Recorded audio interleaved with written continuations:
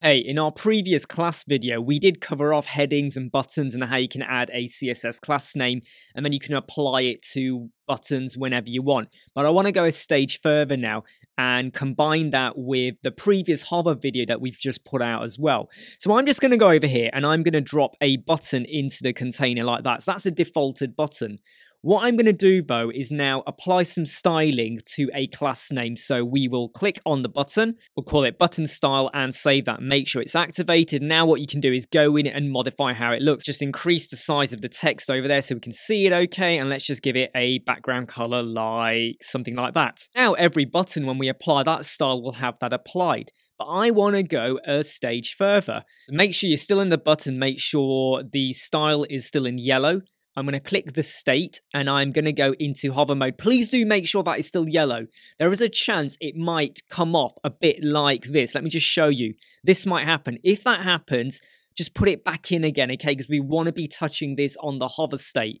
Now I'm going to go over to my background and I'm going to change the color to be a yellow and I'm going to change the text to be a black color like that. I could even change the weighting as well when you hover over it. Let's now just drop in a brand new button into the container. If we click on the button, go over here, and now we pick button style, it applies the normal style, but it also applies the hover style. Now, that's really cool, right? So now you've applied everything within the CS style, but what if you want to keep them separate?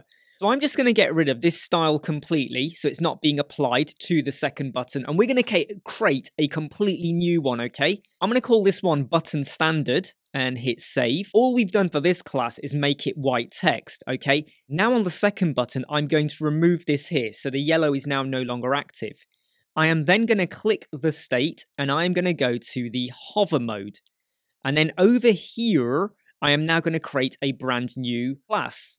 So we're going to call this one button hover. I'm going to give that a completely different background color now of black, no, of white, and I'm going to just make the text be black, okay, just so we can see what's going on there. And I will now save that. Now, let me show you what's going on when I come out of that, because you would have noticed the top button suddenly went back to yellow. Don't worry about that, because that top button there still has our original button style class applied. That had the standard color right? And it had the, the hover color as well. In fact, just to make things clearer, let me just add in another button so you can basically see, look, there's your default button, right? The button number one has got the button style. Button number two has now got the button standard, which was white text, but it also has the button hover. So watch what happens. When I hover there, I get yellow. When I hover there, I get a completely different style. So you could either do it as one, so you have your standard and your hover all built into one, or you could do separate ones. So you got your standard button and your settings, and then you have a separate hover. Why will you do that?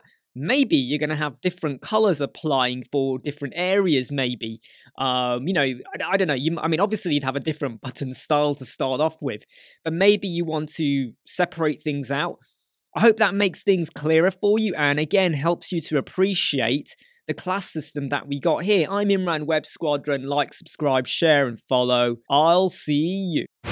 Never break, always fight, never quit, do it right, play the game, win it life, have no shame, there's no time, feel the pain, live the grind, I could change, in my mind, pick a lane, commit and climb, the only way to win it life, I never miss, that fact, taking big swings, bitch, hand me the bat,